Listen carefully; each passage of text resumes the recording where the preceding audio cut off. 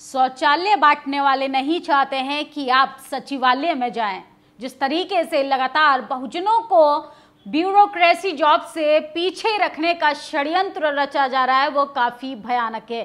सोचिए जब जब आरक्षण की बदौलत बहुजन समाज पढ़ने लगा लगा, लिखने लगा, बोलने लगा, सड़क से उठकर संसद जाने लगा तो एस टी आरक्षण को बांटने के लिए तमाम तरीके से प्रोपगेंडा आपके सामने परोसा जाने लगा। लेकिन सोचिए 21 अगस्त, कल भारत बंद का ऐलान है, तमाम नेताओं ने समर्थन में आगे आकर ऐलान किया है। सोचिए सरकार की नींद उड़ी हुई है और इसके साथ साथ संघी माइलॉर्ड को तो फिर से शायद अपने इस स्टेटमेंट पे पुनर्विचार करना पड़ेगा। जिस तरीके से 2018 में S T S C OBC ने अपनी ताकत का इजहार करके सरकार को घुटनों के बल लाया था तानाशाह अनुवाद को फिर से मजबूर कर दिया था सोचने पे, कल वैसा ही विशाल प्रदर्शन पूरे देश भर में होने वाला है। जगह जगह लोग जो हैं, वो अपने डीएम ऑफ़िस के पास ज्ञापन देंगे, लेकिन सोचिए, बड़े आंदोलन को कौन लीड करेगा? इसकी भी तैयारी जो है, बीएसपी सुप्रीमो मायावती के साथ तमाम नेताओं ने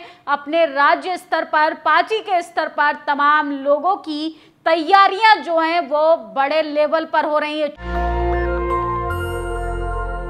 चंद्रशेखर आज़ाद हो बीएसपी सुप्रीमो मायावती के साथ साथ तमाम बहुजन नेताओं ने भी आगे आकर अपना समर्थन दिया है। यहाँ तक कि जाट महासभा भी अब आगे आ चुकी है और डॉक्टर अंबेडकर के पुत्र जो है, प्रकाश अंबेडकर, रामदास अठावले, चिराग पासवान ने पार्टी में रहते हुए इस प्रदर्शन का समर्थन दिया है और राजकुमार आदिवासी सांसद सोचिए, बाप पार्टी से आते हैं, पहली बार वो सांसद बने और किस तरीके से S T S C OBC को जमीनी स्तर पर लड़वाने की कोशिश की जा रही है, लेकिन नेताओं की मेहनत की वजह से, तमाम बहुजन यूनिटी की वजह से S T S C OBC के वर्गीकरण को किस तरीके से रोकने के लिए तमाम लोग जो हैं, वो दिन रात मेहनत कर रहे हैं। इसमें सबसे बड़ा योगदान बीएसपी सुप्रीमो मायावती, चंद्रशेखर आज़ाद, चिराग पासवान के साथ साथ तमाम लोग करोड़ी लाल मीना ने यहाँ तक कि जेएमएम पार्टी के मुख्यमंत्री हेमंत सोरेन ने भी समर्थन दिया है। तमाम लोग जो हैं, वो बड़े आंदोलन को करने वाले हैं और इस आंदोलन का इम्पैक्ट सरकार के ऊपर दिखने का लगातार असर दिखाई दे रहा है।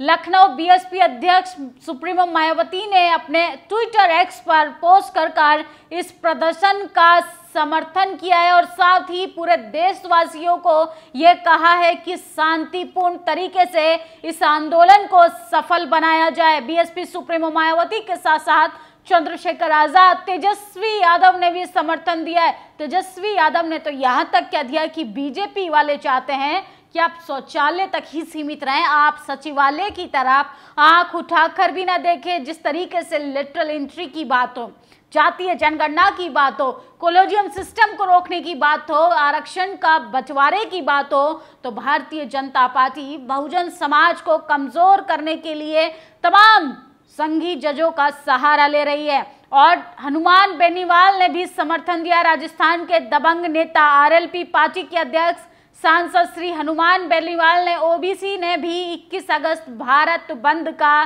समर्थन दिया है। बीएसपी सुप्रीमो मायावती ने कहा है कि केंद्र सरकार जिस तरीके से फैसले सुना रही है उसको लेकर 21 अगस्त को, यानी कल भारत बंद का ऐलान है और ये शांतिपूर्ण तरीके से होना चाहिए। चिराग पासवान ने भी इस आंदोलन के समर्थन में आगे आकर अपनी हिम्मत दिखाई है और सोचिए सरकार के हाथ पाँव फूले हुए हैं।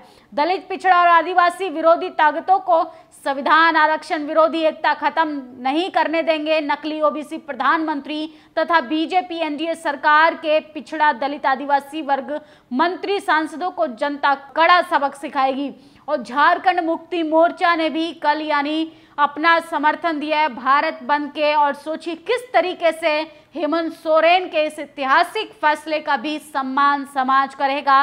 और चंद्रशेखर आज़ाद लगातार सोशल मीडिया पर लिख रहे थे और बालेसर 21 अगस्त को अनुसूचित जाति, जनजाति के भारत बंद पर आवाहन। बालेसर पुलिस और प्रशासन अलर्ट मोड पर एसडीएम एंड बालेसर के तमाम लोग जो हैं, वो एसपी डीएम से मुलाकात किए, जिसके बाद बहुजन समाज के अंदर फिर से वही नई ऊर्जा और फिर से वही हिम्मत दिखा देखने के लिए मिल रही है। और बड़े कोचिंग सेंटर्स के साथ साथ जगह जगह स्कूल भी बंद रहेंगे ताकि शांतिपूर्ण तरीके से इस प्रदर्शन को सफल बनाया जा सके।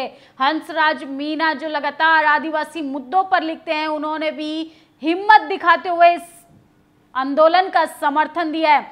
आकाश आनंद आरक्षण पर सुप्रीम कोर्ट के फैसले के खिलाफ एस समाज में काफ़ी गुस्सा है। फैसले के विरोध में हमारे समाज में 21 अगस्त को भारत बंद का ऐलान किया है। सोचिए, तमाम लोग जो हैं, बीएसपी पार्टी के सांसद रामजी गौतम ने भी इस आंदोलन का समर्थन देते हुए लिखा और राजकुमार राउत सोचिए, बाप पार्टी से आने वाले सांसद, उन्होंने भी आदिवासी सांसद हैं, उन्होंने भी कहा है कि एस टी वर्ग के इस आरक्षण का बंटवारा नहीं होने देंगे।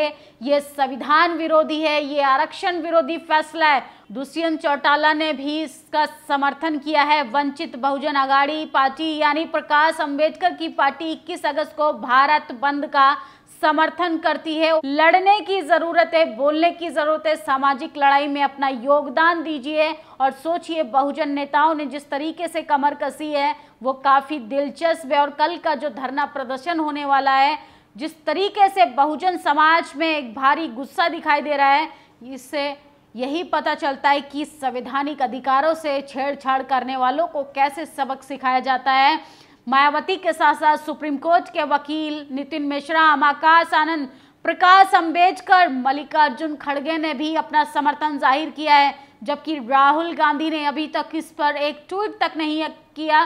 किरोड़ी लाल मीना, दुष्यंत चौटाला, हनुमान, बेनीवाल, रामजी, गौतम, यहाँ तक कि राजकुमार राउत और हेमंत सोरेन तमाम ऐसे चेहरे हैं जिन्होंने कल भारत बंद का समर्थन किया है। सोचिए, तमाम लोग वो हैं जो सोशल जस्टिस की लड़ाई लड़ रहे हैं, आरक्षण की लड़ाई लड़ रहे हैं, आपके बच्चों के उज्जवल भविष्य की लड़ाई लड़ रहे हैं, और सोचिए जिस तरीके से डॉक्टर अंबेडकर सपना देखते थे कि इक्कीसवीं सदी बहुजनों की होगी, वैसा ही प्रतीत होते हुए दिखाई दे रहा है। बहुजन समाज के लोग अब बोलने लगे हैं, सड़कों से संसद पहुँचने लगे हैं। सोचिए आदिवासी समाज से, ओबीसी समाज से, दलित समाज से तमाम लोग संसद में दिखाई देने लगे हैं, जय भीम इस बार गूंजा। और सोचिए, मनुवादियों को, सामंतवादियों को, जातिवादियों के पेट में दर्द होना शुरू हो गया और ये नहीं चाहते हैं कि आपके बच्चे के हाथ में कलम ये चाहते हैं कि आपके बच्चे के हाथ में वही एक कटोरा थमा दिया जाए और धर्म की लंबी लंबी कतारों में लगाकर आपके बच्चे को मुद्दों से भटका दिया जाए। लेकिन आपको तय करना है, इस प्रदर्शन में शामिल होना है, क्योंकि आपकी आने वाली पीढ़ियाँ जब आपसे पूछेंगी कि हमारे लिए जब अधिकारों की मांग हो रही थी तो आप लोग क्या करे थे? इसलिए जागिए। गुलामी की जंजीरों से निकली है और अपने लिए, अपने आने वाली पीढ़ियों के लिए इस सामाजिक लड़ाई को, इस राजनीतिक लड़ाई को, इस संवैधानिक लड़ाई को, इस आरक्षण को बचाने की लड़ाई में शामिल हुई है। वरना आप इस बार नहीं बोलेंगे तो बहुत देर हो जाएगी।